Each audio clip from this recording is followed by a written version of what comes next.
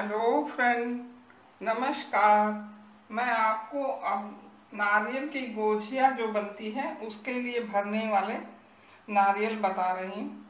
इसमें मैंने नारियल ऐसे काटा था और उसके छिलके मैंने उतार के छोटे छोटे टुकड़े करके ग्राइंडर में कर दिया। आप घीसिएगा नहीं, या तो उसकी मशीन आती है, उससे कद्दूकस कर लीजिए।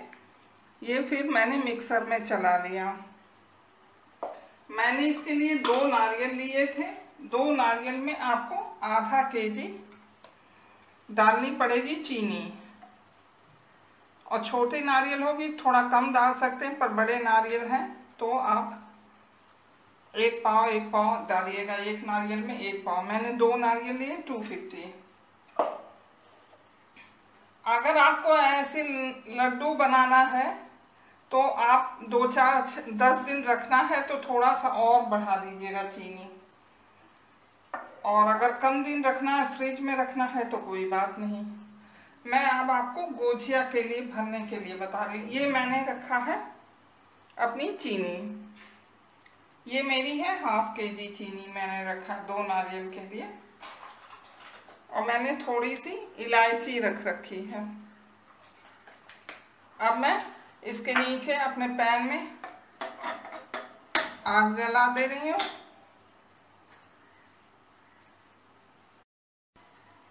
अब मैंने पैन पे अपना डालकर ऑन कर दिया है बनने के लिए।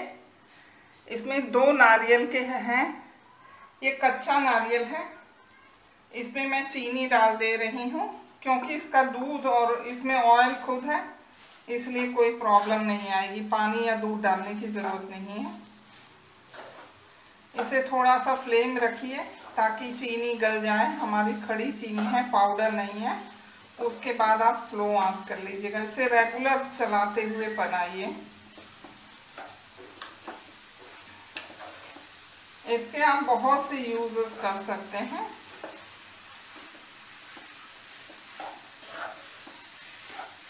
सूखे नारियल के जो बुरादे आते हैं डेसिकेटेड कोकोनट उसमें एक अपनी अलग स्मेल होती है, जो बड़ी फाउल और बड़ा ख़राब लगता है उसे। आपको वेनिला एसेंस वगैरह डाल के उसको ख़त्म करना। पर ये बहुत ही टेस्टी और मिल्की टेक्सचर होगा इसका एकदम। बहुत ही बढ़िया होता है। कद्दूकस करने के बजाय छिलके उतार कर आप ग्राइंडर में ग्राइंड कर लीजिए चम्मच से हिलाते हुए।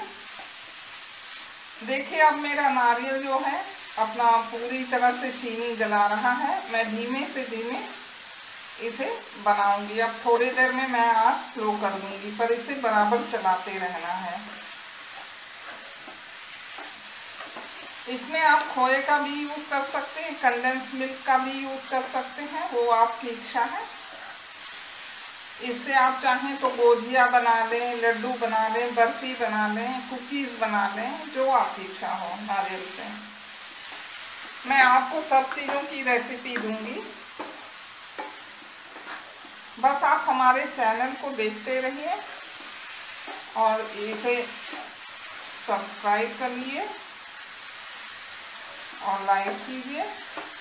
मैं आपको लगातार रेसिपी देती रहूँगी। आपके जो रिक्वायरमेंट्स होंगे, उसे मैं हमेशा फुलफिल करने की कोशिश करूँगी। देखिए, अब हमारा एकदम गल रहा है धीमे धीमे इसके कलर चेंज हो गए।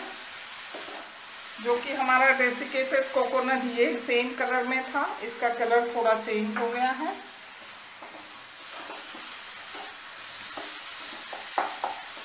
अब इसे बनने देंगे हम। आधे घंटे इसे लग जाएँगे धीमी धीमी आधे घंटे हो चुके हैं। अब देखिए हमारा पैन एकदम छोड़ दिया है इसने और इसके कलर एकदम चेंज हो गए हैं। ये हमारे भोजिया की भरावन के लिए एकदम तैयार है।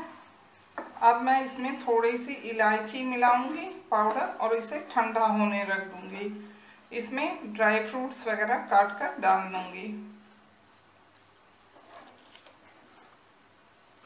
ये हमारा पूरी तरह तैयार हो गया है। इसमें चाहें तो आप खोए भी मिला सकते हैं।